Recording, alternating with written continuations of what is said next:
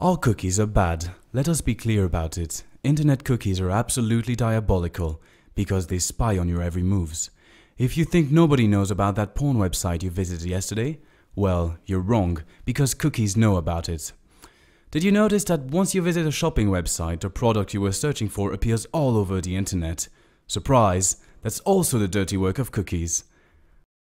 Have you ever given someone your credit card number, all your passwords, home address, phone number all at once? What about free access to your entire hard drive and the history of your search? Of course you did. You gave it all to cookies. We are McVitie's and we make delicious British biscuits. And as you might imagine, when you make biscuits and love them as much as we do, it's natural to hate cookies in all their forms. We want to crush them everywhere, on the supermarket shelves, but also online. And if we can help privacy doing so, we are all the more delighted. That's why we created a new software, Shoot the Cookies by McVitie's, a clever browser extension that scans for all cookies on your computer and deletes them mercilessly. How does it work?